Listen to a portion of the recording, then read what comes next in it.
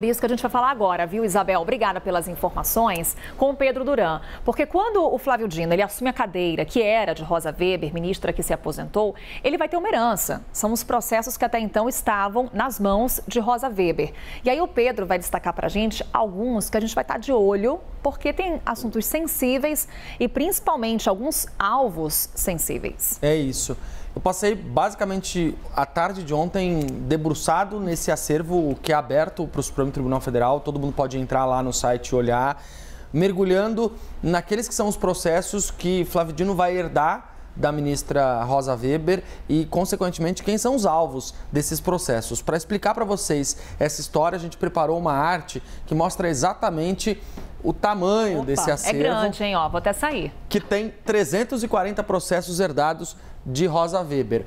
E aí, Carol, é importante lembrar que, muito embora pareça muita coisa, imagina você chegar para trabalhar num emprego novo e ter 340 processos para você atuar ali. Tranquilo, né? tranquilo. É, é, é, bastante coisa. Mas a gente está falando de um universo em todo o Supremo Tribunal Federal de mais de 25 mil processos. Então é bastante coisa. Então vamos dar uma passada rápida para entender quem são esses alvos e o que está em jogo aqui contra cada um deles. Então o senador Jorge Cajuru, por exemplo, vai responder é, sobre uma ofensa contra Gilmar Mendes, uma suposta ofensa em que ele teria falado que Gilmar Mendes vendia sentenças. É um dos processos que está com o, com o novo ministro que vai ser empossado logo mais, o Flávio Dino. Senador Renan Calheiros tem uma discussão sobre aquele caso Postales, que diz respeito ao pagamento de propina naquele fundo de pensão dos Correios. É o processo que está nas mãos do Flávio Dino. O senador Chico Rodrigues, esse você vai se lembrar, Carol, é aquele que escondeu dinheiro dentro da cueca.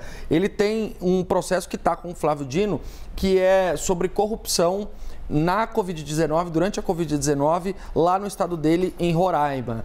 E aí vai ter que responder sobre esse processo. O senador Marcos Rogério vai responder sobre uma acusação da oposição de ter tirado fotos, feito registros ali dentro da zona eleitoral, o que é proibido.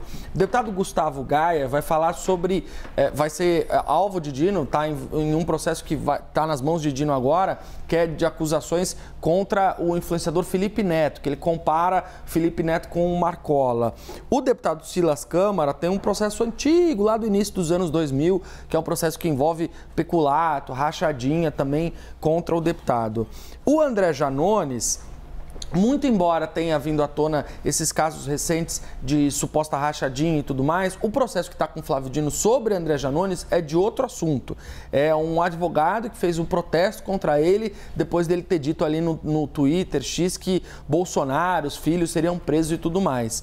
Já o ex-presidente Jair Bolsonaro e outras pessoas são alvos de um processo, um inquérito que investiga se as ações e atitudes teriam influenciado comportamentos das pessoas durante a pandemia da Covid-19, que teria oferecido risco às pessoas, à população. É esse processo da Covid-19 que é um processo super delicado que tem Bolsonaro como alvo, que vai para as mãos de Flávio Dino. Na época, no auge da pandemia de Covid-19, Flávio Dino era governador do estado do Maranhão. Exato. E lembramos aqui que naquela oportunidade tecia inúmeras críticas ao ex-presidente da República. Inclusive naquele consórcio do Nordeste dos Exato. governadores que tiveram uma posição muito uníssona na pandemia.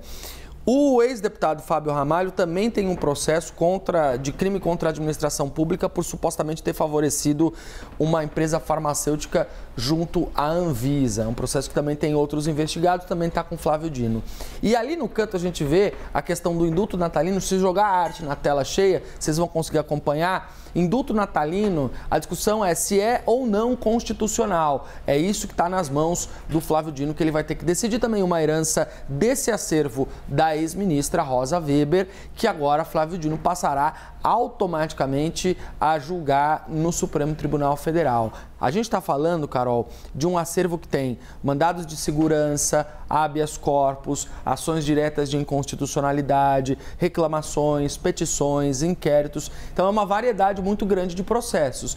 Mas a estreia do Dino como ministro do Supremo Tribunal Federal não vai ser em nenhum desses casos aqui. Vai ser na sexta-feira, amanhã, quando abre o plenário virtual do Supremo Tribunal Federal e, em tendo sido empossado hoje, ele já está apto para julgar no plenário de amanhã, nesse primeiro julgamento virtual, que vai ter, entre outras coisas, o, acusações e inquéritos contra 15 pessoas acusadas de terem invadido a sede dos três poderes lá no dia 8 de janeiro de 2023, um processo do ministro Alexandre de Moraes, que Dino já entra como julgador. Pois é, e aí entra a figura do impedimento, que é um assunto que a gente vai trazer com a Basília Rodrigues. Inclusive, até mantém tela cheia um pouco desses nomes, mas também esse julgamento com relação aos atos criminosos de 8 de janeiro. Porque em 8 de janeiro de 2023, Flávio Dino era ministro da Justiça e Segurança Pública, é questionado inclusive sobre sua atuação no comando da pasta naquela oportunidade e agora se vê como ministro da Suprema Corte julgando casos relativos ao acontecimento e também tem nas mãos processos de figuras que estavam no seu campo político oposto. É o caso do ex-presidente Jair Bolsonaro. Como é que fica essa discussão, Basília? Por mais que Flávio Dino insista de que Flávio Dino político era um e Flávio Dino, ministro do STF, é outro. Pois é, não é um, um, mero caso de diagnóstico de consciência, né? O, o, ministro, o próprio ministro, pode se declarar impedido, mas essa análise também é feita pela corte por livre e espontânea vontade, a corte faz ali aquela avaliação, ou quando há um pedido, né, algum advogado, Ministério Público, outra parte no processo pode pedir o impedimento do ministro em questão. A gente está vendo muito essa, é, esse assunto né, em voga no caso de Alexandre de Moraes julgando o processo daqueles que podem ter promovido ou incentivado o 8 de janeiro. Flávio Dino chega aí, como ele se diz, um tambor à frente de vários assuntos delicados na política e também na chamada pauta de costumes. Dessas 340 questões, estes 340 casos que estavam com Rosa Weber, lembrando que parte disso ela já havia herdado é, do ministro anterior, né, do ministro é, Barroso, quando houve é, troca de presidências. Bom, quando isso aconteceu, a ministra herdou uma parte parte, aí agora que ela saiu, quem herda, é, já que a cadeira é dela, é o ministro Flávio Dino. Um desses processos é contra o ministro das Comunicações, o ministro Juscelino Filho, que é do União Brasil. Ele está envolto em um caso que é sigiloso, ainda está em fase de petição, não é um inquérito no Supremo Tribunal Federal. Acabei até de bater aqui essa informação com o Lucas Mendes, que é o nosso setorista de Supremo Tribunal Federal, para a gente conseguir puxar mais elementos. O processo ainda está é, em sigilo e trata ali do desvio de de, emendas parlamentares para uma prefeitura no Maranhão que tem à frente a irmã de Juscelino Filho. É um caso bem delicado para o governo. É, no início da gestão, incentivou discursos, fogo amigo, para que o ministro fosse demitido. Na prática, isso não aconteceu, mas o ministro tem que responder aí a estes questionamentos que eventualmente vão ser feitos no, no processo no Supremo Tribunal Federal. Agora, quem está como relator, quem deve assumir, né? Porque isso só vai ser entregue às mãos do ministro Dino quando ele de fato tomar posse. Quem deve assumir é Dino, que até ontem estava como colega do mesmo governo, né? O Flávio Dino dividia ali com o Juscelino Filho algumas das reuniões ministeriais, a esplanada dos ministérios, aquela tão falada foto, né, quando chega o presidente da República e traz o seu time para é, para sacramentar em foto quem está com ele. Então, seria caso de impedimento de Dino julgar ou ser relator de um caso que tem como alvo um ex-colega de governo? Bom, isso é um ponto em aberto. O ministro ainda não deu indicativo do que fará mas já tem essa pressão na corte, inclusive de opositores, dizendo que ele não pode ficar à frente dessa questão. Um outro assunto muito importante é o 8 de janeiro, gente. Tem vários inquéritos que conversam com essa pauta. É inquérito sobre desinformação, é inquérito é, sobre o próprio, o, o, a própria tentativa de golpe aqui em Brasília.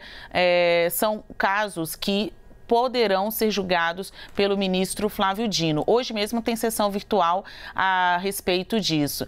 O ministro ainda não se declarou impedido. Pelo contrário, ele disse que vai seguir à frente com esses julgamentos que dizem respeito ao 8 de janeiro. Envolvem pessoas que vieram ou que foram presas depois em virtude desta data, mas que nos discursos de Dino ministro eram já chamadas de bandidas. Então, isso é algo que traz é, um ponto de análise. O ministro estaria totalmente livre é, de avaliações pessoais, julgamentos pessoais ao, ao hoje ministro do Supremo Tribunal Federal encarar essas questões, por enquanto ele não se declarou impedido disso. Basília Rodrigues, Pedro Duran, trazendo para a gente as informações. Lembrando, mais uma vez, para você ligado aqui na programação da CNN Brasil, teremos a posse hoje de Flávio Dino, ele que vai assumir uma cadeira no Supremo Tribunal Federal, cobertura completa aqui na CNN Brasil.